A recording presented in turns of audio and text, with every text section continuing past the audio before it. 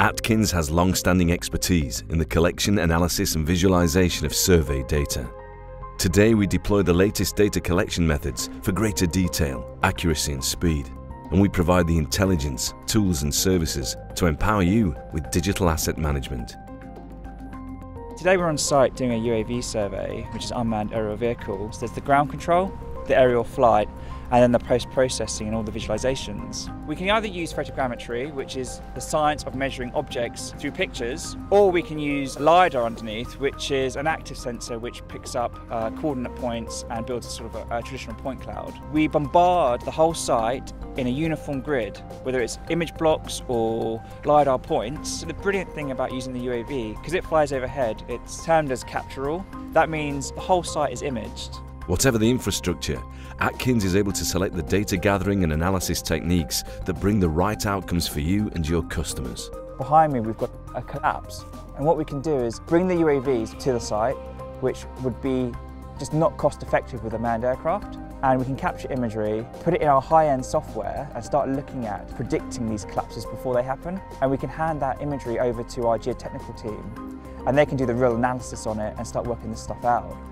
Multiple datasets can be brought together retrospectively or in real time to provide the intelligence you need to provide automatic, reactive or human decision support. Virtual representation of your asset also brings new possibilities. This is a photogrammetric system.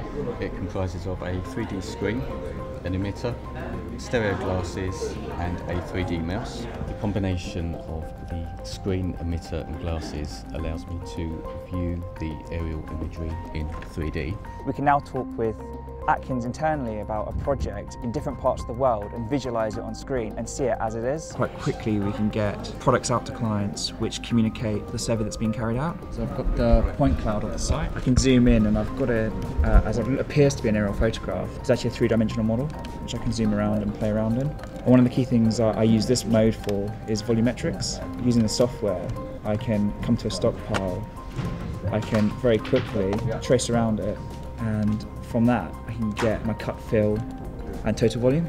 We've got the ground coordinated, we've coordinated the air, we've brought those two together, we've got a very accurate terrain model and from there we've been able to offshoot the topographic mapping for engineers, the terrain analysis, all the GIS analysis and then bring it into virtual reality.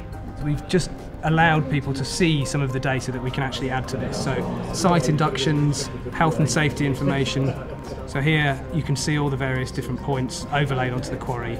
I can also pop down onto the floor and walk around these areas. It's a real visual way of showing that that you don't get from other means.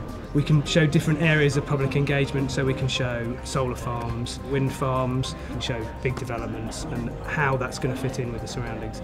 The key is we've got live data. This is an actual place, so we can add all of the other disciplines. Any of the data that Atkins collects, we can use this one deliverable to get it straight to the client. And we can show that across a variety of different devices. 3D data from surveys enables you to visualize your asset in new ways by adding the fourth dimension of time and the fifth dimension of cost modeling. You're able to make and communicate better decisions. 5D technology from Atkins is raising the bar for asset management.